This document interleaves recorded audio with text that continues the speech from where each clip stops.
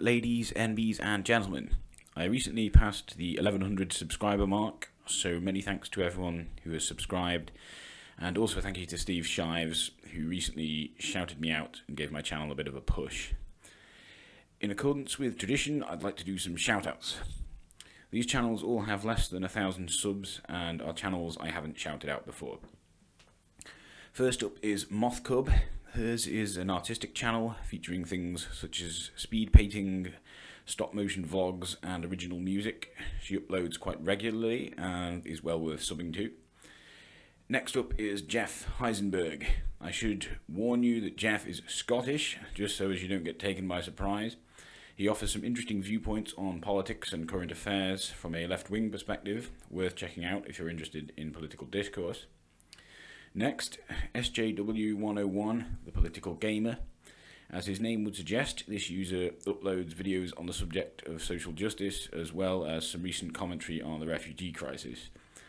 He's also, as his name suggests, a gamer and has made some interesting criticisms of the harassment campaign that is Gamergate. Next up, someone who's a bit of an influence of mine, Phil Hurley.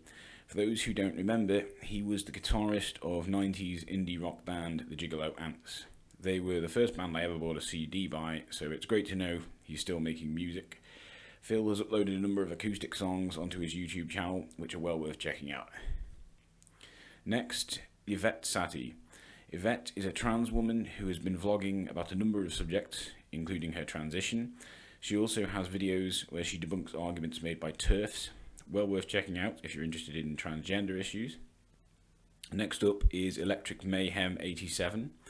Like myself, she is a vegan who has done some videos promoting veganism, but also some videos about the growing need for intersectionality within the vegan community, especially on YouTube. Well worth checking out if you favour a more sensible approach to vegan vlogging than the likes of Freelee Bana- the Banana Girl and company. Last but not least is a channel called Bog Standard Games.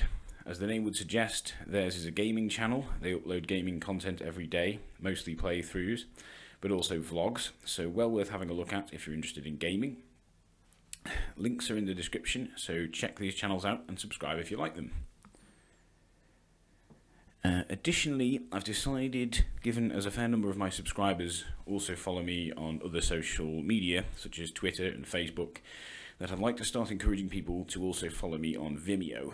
Um, I've had my account there for a couple of years now, but haven't uploaded much content. But given as it seems almost impossible to block abusive commenters on YouTube, thanks to Google Plus integration, I've decided I want to upload some of my content to another video site.